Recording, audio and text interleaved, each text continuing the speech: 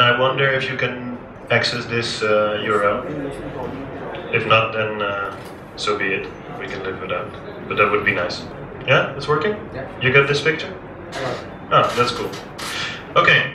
Um, so as I uh, stated in my talk, I want to uh, uh, talk a little bit about Backbone um, and use that to uh, to only write your models one time and then have the same models in the client and in the server.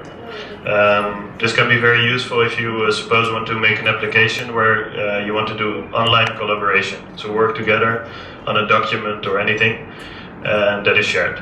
So, um, can you try to switch on the light? Just press the light uh, button here. So that works. It just turned on the light on my machine. So I'll show you how that uh, how that works. Is how many of you are uh, familiar with Node.js or anything? Okay, so quite a quite a few.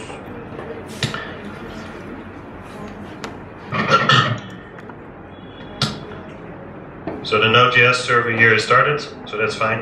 Um, I'll take you to the code that's behind this. Um, this is the application that runs on Node.js. Um, it's only a few lines of code, as you see. Um, I'll just go through the code and explain you how these things work. So the first thing we do here is uh, create an Express uh, web server, which is just uh, a Node.js module. Could you increase the font size, please? Oh yes. Um, Can you also put off the light from there? is it okay now? Okay, so what you see is I create an app um, that is uh, based on the Express module. That is just a web server module in Node.js. You can uh, just install it by uh, using your Node packet manager. Um, few lines here. First, I tell the web server that anything that has a dot star at the end, so for example, dot uh, PNG, CSS, or whatever, will just be passed through as a static document. So that way I can serve static documents. Um, next uh, step, I configure um, uh, the Express web server to use uh, the Jade engine. Uh, Jade is a template engine. And um, by default, it will, it will try to find uh, layout.jade. So this is the template that is called layout.jade.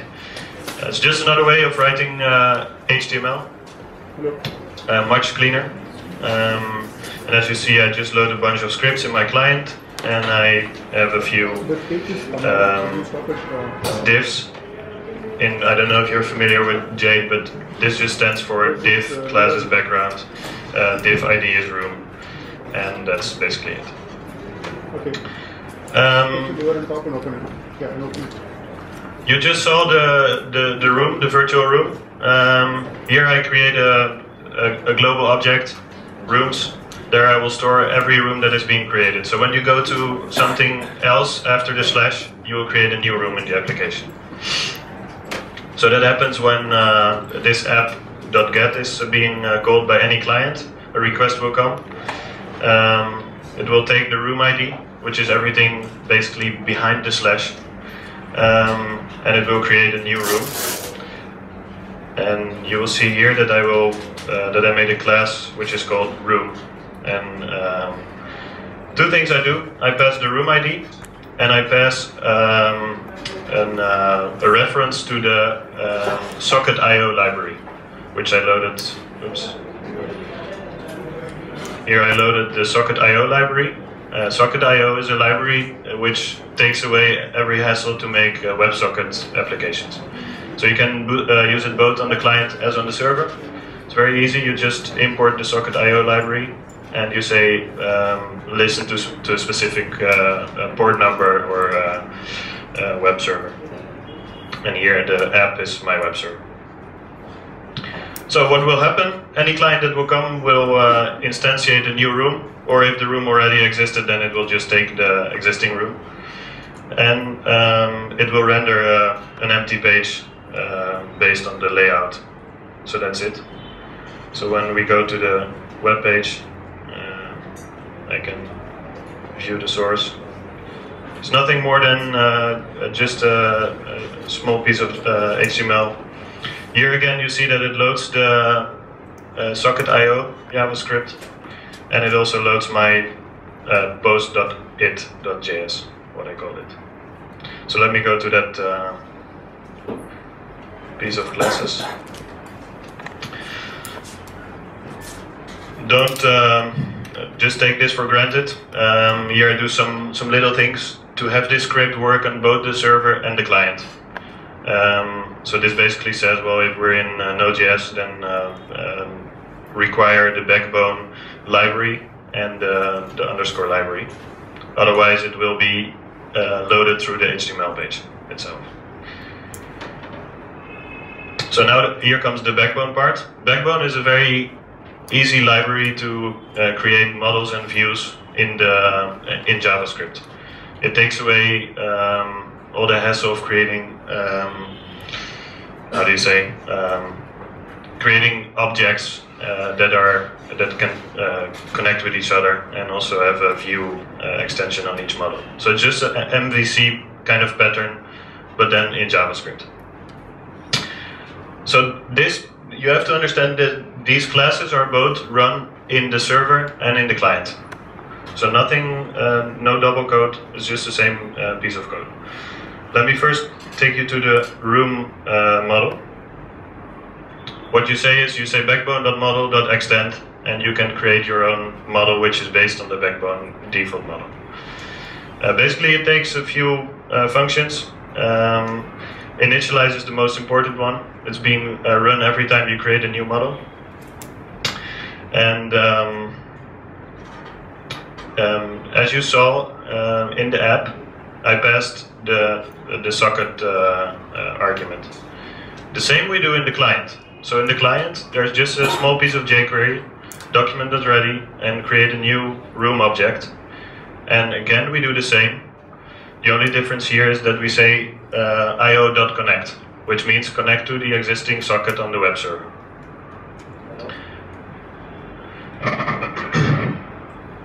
So when you uh, come to your initialize method, both on the server or the client, um, this will happen only on the um, server part. So it's still being run on the client, but the client is not getting any uh, connections at, at, this point. Um, but still, it will call the initialize events method for the current socket on, uh, um, on the client.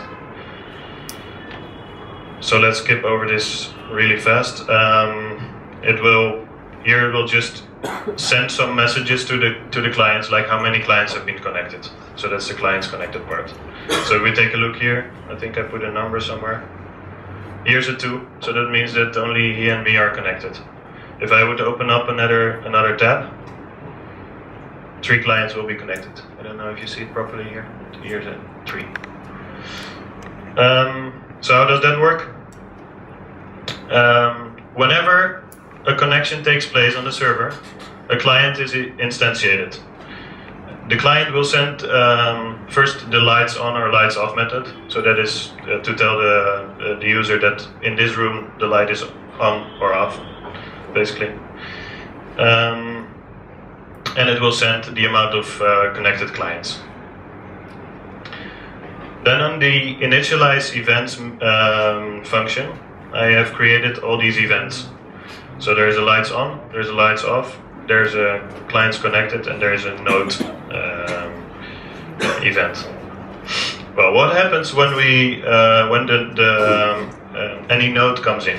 So I made a function here that whenever you double click, you can create a, a small message. Say, hello, JS, foo. So I don't know if you see it now, but it should have come come true. Yeah. So what yeah, he's creating another node here.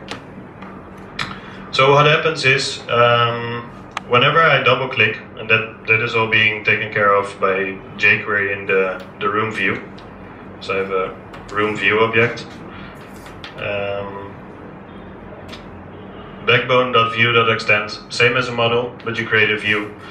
Um, it also has an initialize method, and it has an important uh, um, property, which is the element. So that refers to the current element in your page. It can be an existing element, but you can also uh, create new elements if you want. So what happens here? uh, some magic, but um, basically the double click event on the element um, will tell the um, the model, which is it, it's, it is connected to, to set a node. And set a node means uh, update the current node or create a new node. So let's go to the set node method. What does this do? Um, first, it tries to get the current uh, node if it exists. So suppose there is an ID, which is a global identifier, then it will just get the current node from that list. If it was not there, then it will create a new backbone uh, backbone model, which is called node. It will set the, the room property so that from the node you can always access the right room, and then it will add the node to the to the list of nodes. um, depending on um, if we uh, told the function to broadcast, it will tell um, the socket to send a message to the server saying, hey, there was a new node. And then there is a very convenient uh, function called toJSON, uh, which just serializes the current object to JSON format. So then what happens on the server side, um, it's still the same piece of code that's being run on the server side. So the server will get this uh, socket.on node event. And then it will say again, okay, uh, a new node has come, so let's um, parse it, and it will again call the function setNode. So what I really wanted to explain here is that it is very convenient to write the same piece of JavaScript that runs both on the server, the client, or any other uh, client that is connected. So just every time the, the same pattern happens. The onNode event is coming in. Um, it calls the setNode function, so it creates a node in the in the object on the server. And then again, because it will broadcast, it will again send it to all the clients. Uh, actually, that, that happens here. So I, I have a, an if statement here. If the socket.manager is there, so if this is a server, then broadcast it to everybody that is connected to the current uh, uh, server.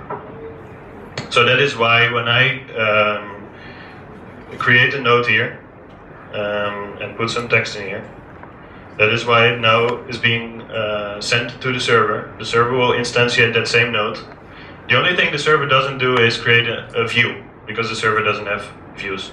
But on this computer now, it will create a, a node again.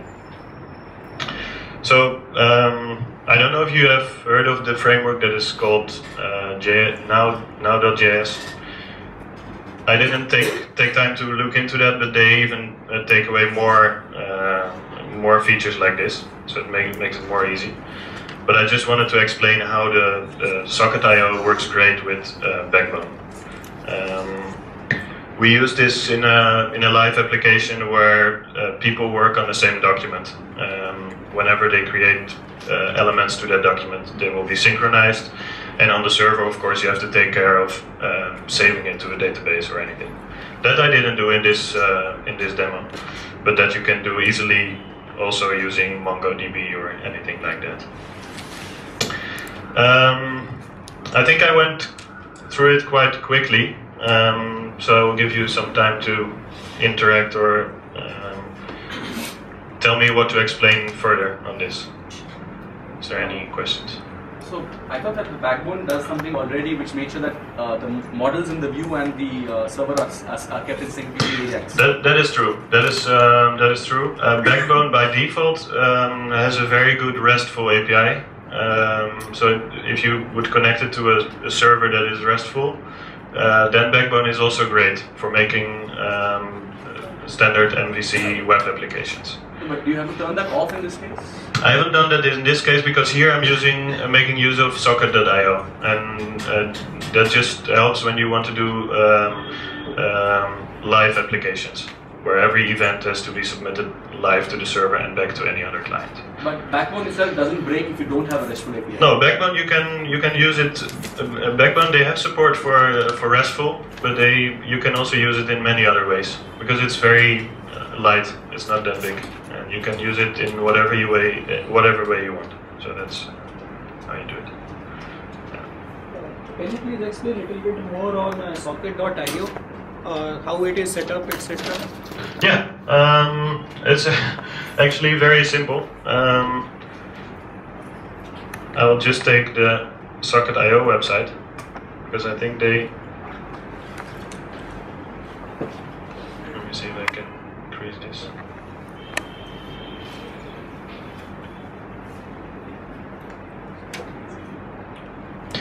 So here they have a great example of how to use Socket.io. On the server, uh, you say um, require Socket.io library and listen to a certain port, uh, port. And then whenever you get an event, say connection, um, something will happen. You'll get a, a, socket reference, and on the socket you can say um, emit a message, send a message to the uh, connected client. Yes. Are these persistent? Persistent? Are these connections? Yes, yes, they, they will stay for the for the time that the, the client will be connected. Yeah. But they use WebSockets for it. So the WebSocket protocol, I even don't know much about it, but it's um, it takes care of all the uh, connection handling. The great thing about Socket.io is that it um, they also have some wrappers for the clients. Uh, even in older browsers, it should work. So if the browsers have Flash support, they will Flash uh, use Flash. Um, I think even IE 5.5 should work. So it's quite convenient. Only WebSockets or any other protocol? It's WebSockets, but on the older browsers they emulate it, of course, because older browsers don't have support for WebSockets. So WebSockets is not even a standard yet, because all the browsers are still fighting about which uh, standard they should be on. But most browsers have a, most modern browsers have a socket implementation, WebSocket implementation, um, but still they use different protocols. And the great thing is that Socket.io takes away thinking of that. So on the client um, client part um, is the same. Um, you connect to say localhost, and then whenever a news message comes in, you do something with it. So it's a really convenient way of writing events. So with this, you could easily make a web application, uh, a chat application on uh, on the web or anything like that. It's a very convenient way to do it. Does Backbone have bindings to any other languages? Um, no, it's pure JavaScript. What do you mean with bindings? Well, some part of the server might not be in Node.js, so how do we get a similar uh, capability? A Backbone, you don't have to run it on the server. Uh, Backbone is uh, basically just a, a, a, model model view controller pattern in JavaScript. So if you use it in Node.js, that is your choice. If you want to use another server, then that's that's cool. But once you want to use JavaScript, then Backbone is a great uh, MVC uh, pattern. So in this example that you showed, you have mixed the events on the server and on the of the client in the same code. Yeah, that's the. I did that on purpose to just show the benefits of Backbone um, in in the sense that you can use the same models when that is needed.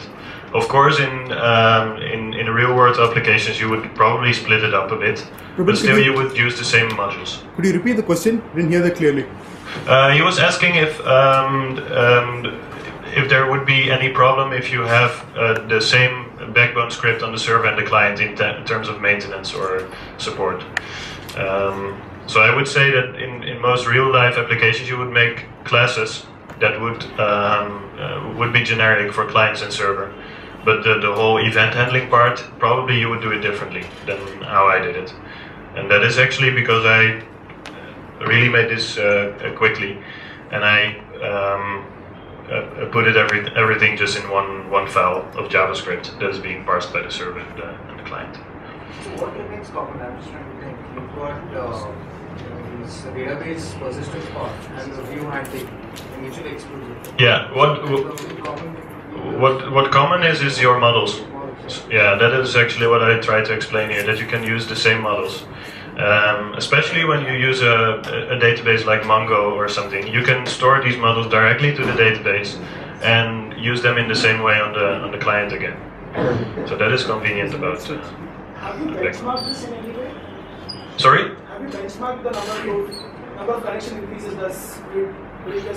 I have not benchmarked it, but if you read, if you look up the benchmarks by Socket.io, with Node.js you can easily run a a chat application with thousands of users. Just on my MacBook, that would work. No problem. Yeah.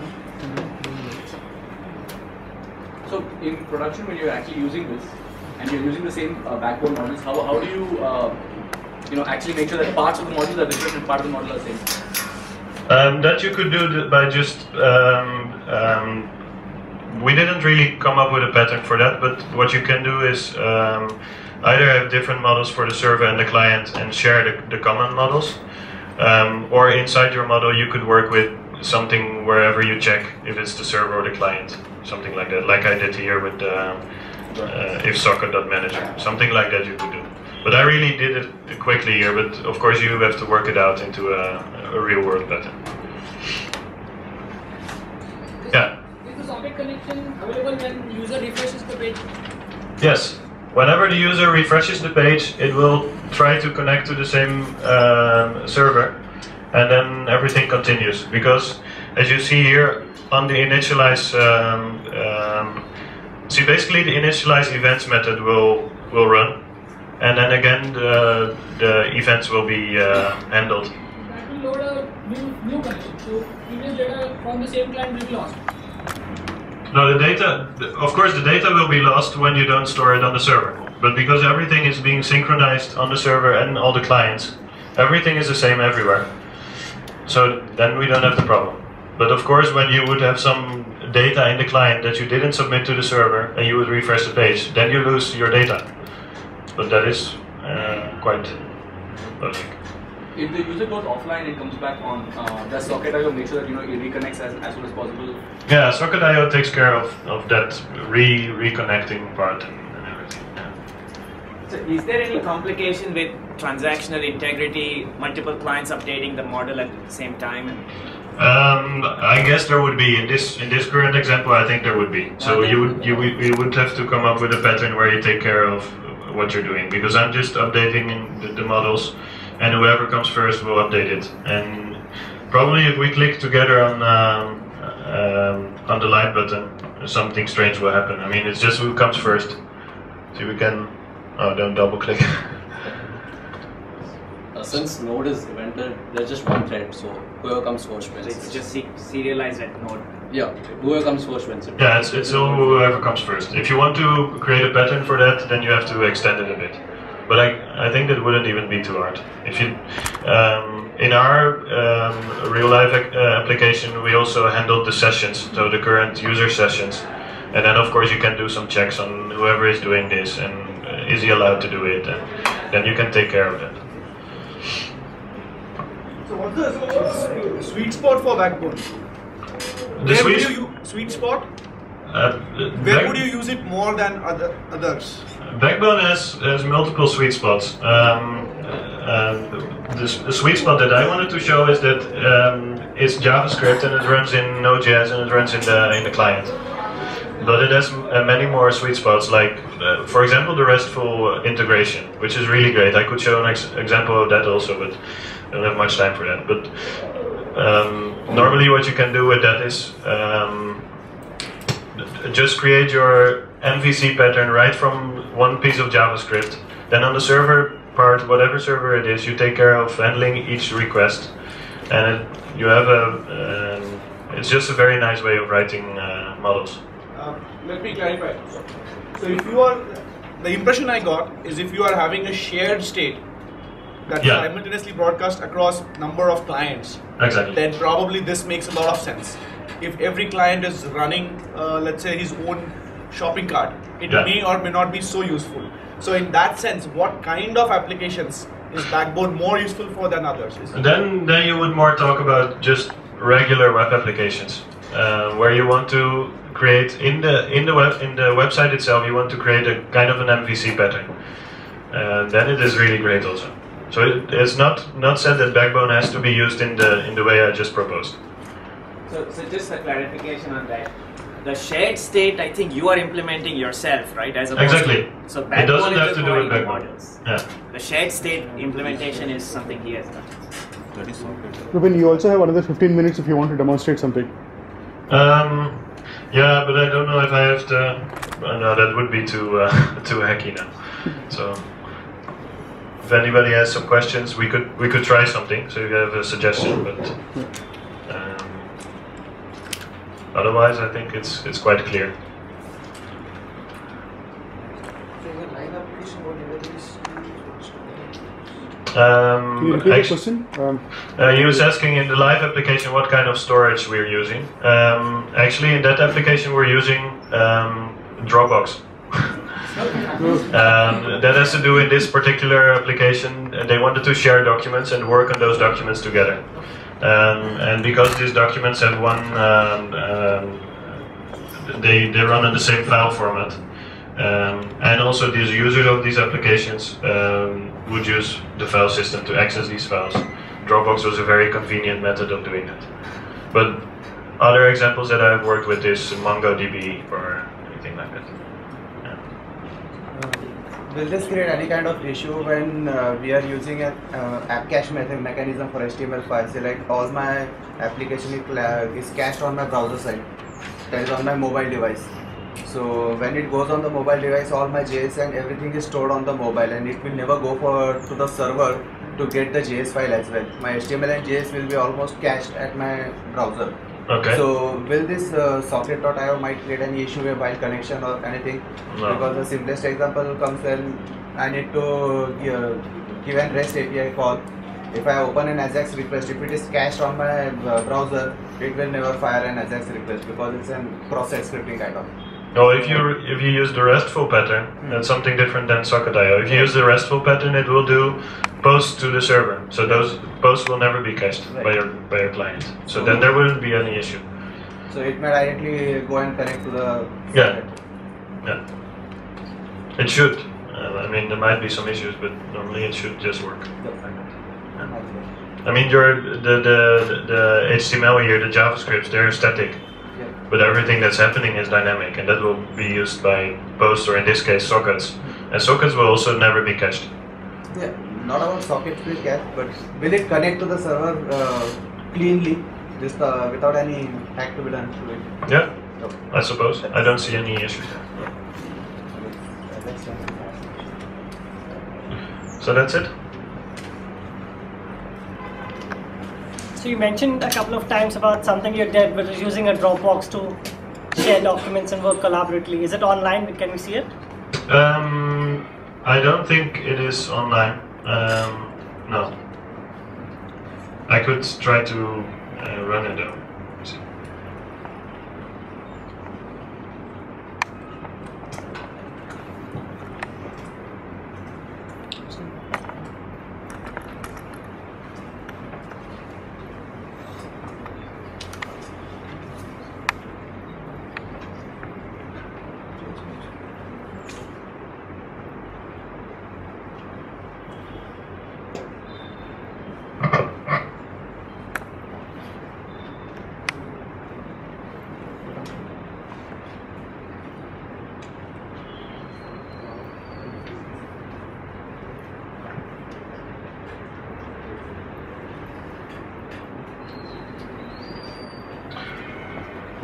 So I don't know why the font is so strange now. I think it cached something. Talking of cache.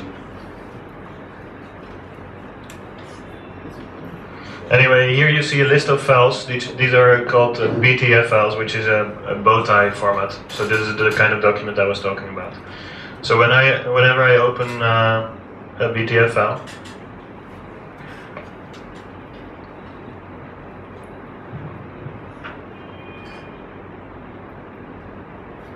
Okay. Probably some connection issues.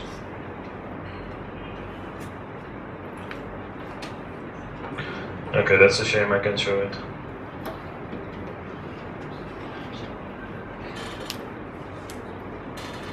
Maybe it crashed.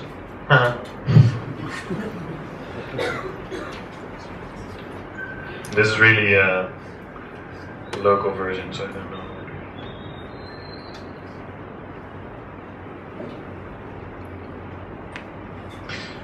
Not much chance that I can show it. But normally it would show a diagram, bow tie, a bow tie diagram. A bow tie diagram is something they use in the world of risk management. Um, and you would be able to edit that diagram uh, lively.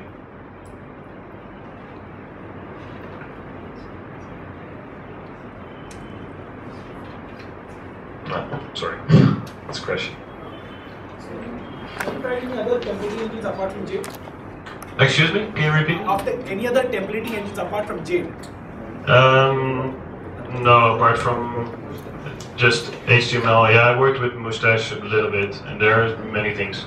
Even Backbone has support for, I think, Mustache um, for the view part. But Jade is very convenient if you use it in uh, collaboration with uh, Node.js and Express web server.